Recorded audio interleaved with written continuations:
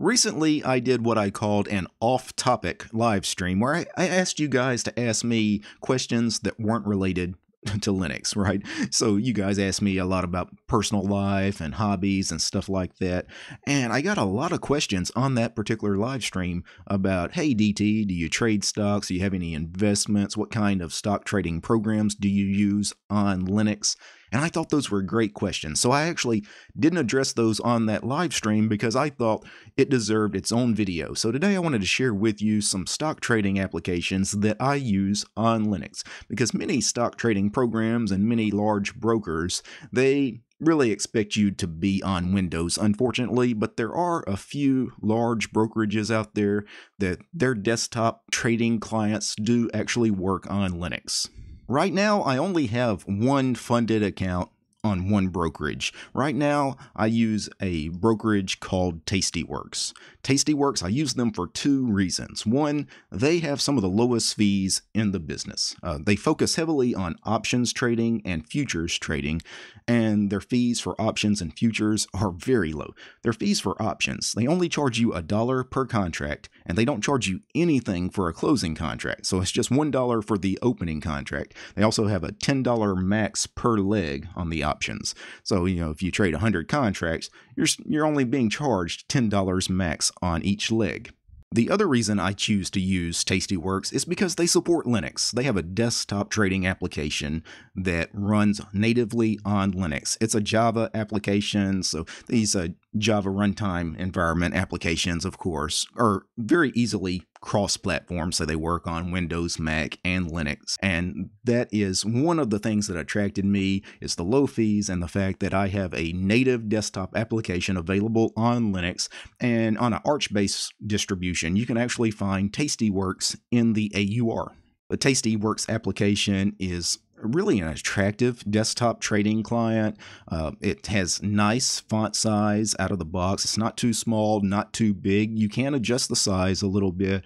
It's very intuitive platform. I mean, you do have some basic uh, charting stuff you can do. Of course, you can also you know, trade something like I can click. Uh, right now, we're looking at the Uber stock, and if I wanted to, I mean, I could go down here and I could do a short iron condor. I could put that on. I could adjust adjust the width of the uh, the strikes here to whatever it is I wanted to. I could click review and send, and away I go. Of course, I don't actually want to make that trade. It's after hours at the moment anyway. You have the ability to check out your watch lists, you know, so you can see what kind of trades you want to put on, what stocks, what ETFs, what futures uh, are having, you know, their their 52 week high or their 52 week low, or you know, what's their liquidity, what's their IV rank. Tastyworks is really in this three column kind of format. You can actually, you know, adjust some of this stuff out. Typically, I keep this first column just shrunk as low as it'll go. I really don't really use this much. This is the main window here. And then this far right hand column, I actually usually click the arrow here and pop that out. And I actually put that full screen on one of my other monitors because I have a multi monitor setup. So usually I'll just, you know, move that over to my other monitor and I'll have really the watch list full screen on another monitor. That way I can just use this particular monitor to maybe check out the chart or or maybe I want to look for the options chain here on Twitter. Maybe I want to trade, I don't know, the 70 day away expirations here on Twitter. I can look at the options chain here. So that is Tastyworks. Tastyworks was founded by the original creator of Thinkorswim, and Thinkorswim was the brokerage I used before I discovered Tastyworks. So this is the Thinkorswim desktop client, and when I switched to desktop Linux full-time about 12, 13 years ago when I first moved from Windows to Linux, I signed up for an account at TD Ameritrade, who is the company that purchased Thinkorswim. And the reason I signed up for an account with those guys is because when I switched to Linux way back then, this was really one of the few stock trading applications that worked natively on Linux. There was really nothing else available at the time. So that's why I've always been a Thinkorswim user, although even though I have an account with them, and that's why this application works for me. I mean, we could actually get some uh, real-time charts going on right now. It's after hours though, so there's no trading going on.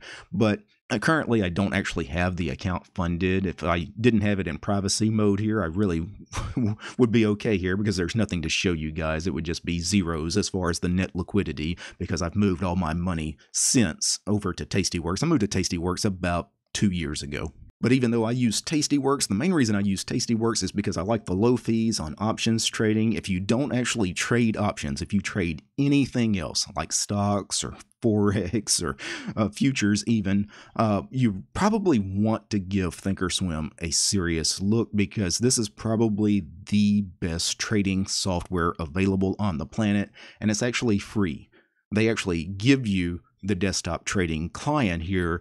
The only thing is you won't get real time data unless you actually sign up for an account with them and actually fund the account. But you don't actually have to trade. All you have to do is put some money in the account. Afterwards, if you just withdrew the money from the account, it's the application's still going to work for you. Right now, I don't have this account funded, but the desktop client does work and I get real time data on this application if I wanted to use it. I will say because Thinkorswim is such a really powerful piece of software. It can be confusing to the new user. There are so many options available for you. And when I'm talking about options, I'm not talking about looking at an options chain. I'm talking about there's so many options available within the software.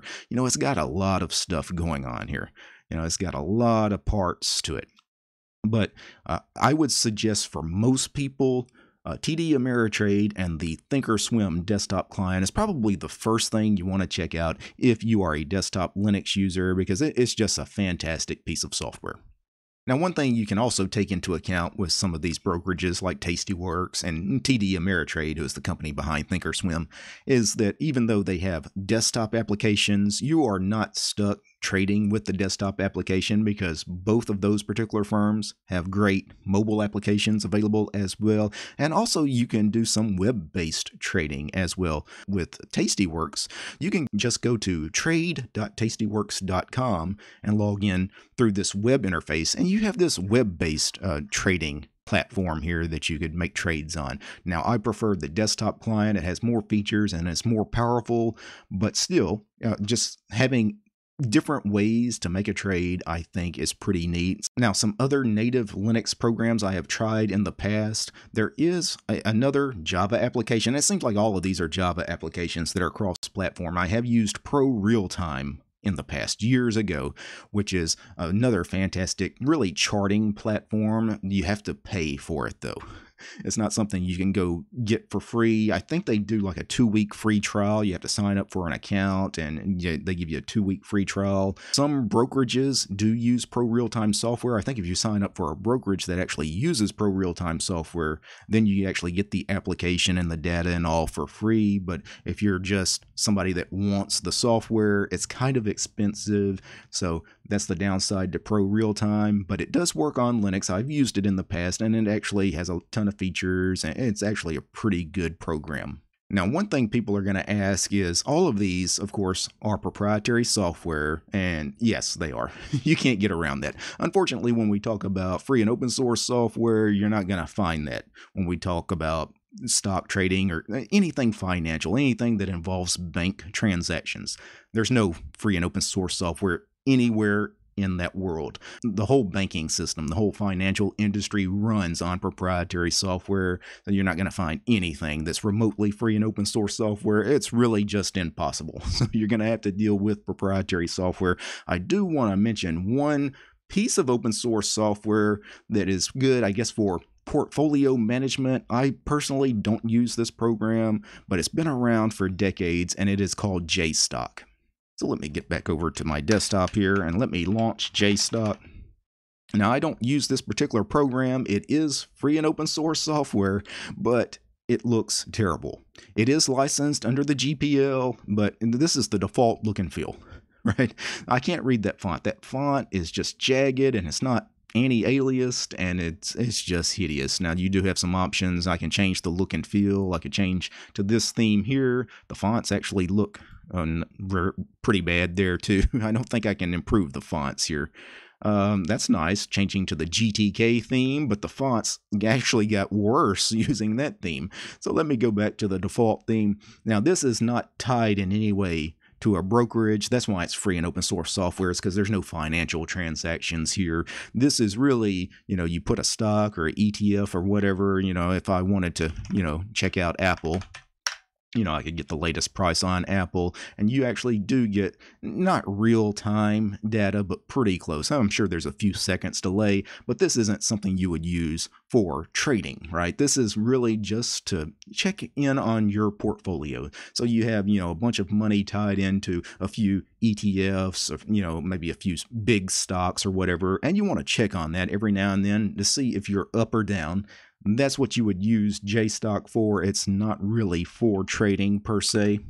But I did want to just briefly mention it because I know some people will ask about it in the comments below. And since it is licensed under the GPL, I don't mind uh, pointing you guys in that direction. It is available on Windows as well, too. I think it's a cross-platform application, and uh, just knowing how things typically work, I bet it looks fantastic on Windows. I bet it doesn't have that weird, just unreadable font and everything that's going on on Linux. I bet that's a Linux-only problem because I've seen screenshots of JStock running on Windows, and it actually looks better on Windows. I don't have a Windows machine to test that theory on, now, some of the trading applications that I haven't tried on Linux, I, have never tried any that are not native to Linux.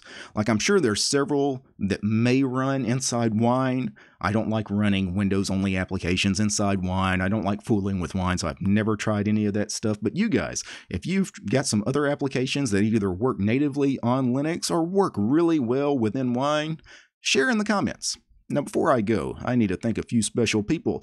I need to thank the producers of this show Absy, Devin, Fran, Gabe, Corbinian, Mitchell, Akami, Arch 5530, Chris, Chuck, David, the other David, Donnie, Dylan, Gregory, Lewis, Paul, PickVM, Scott, Wes, and Willie. They are the producers of this episode. Without these guys, you, you wouldn't know about all these great stock trading applications that are available natively on Linux. You wouldn't know about them. I also want to thank each and every one of these ladies and gentlemen as well. These are all my supporters over on Patreon because the DistroTube channel is sponsored by you guys, the community. If you'd like to support my work, look for DistroTube over on Patreon. All right, guys. Peace. I can't believe I looked up Apple. They sell proprietary garbage.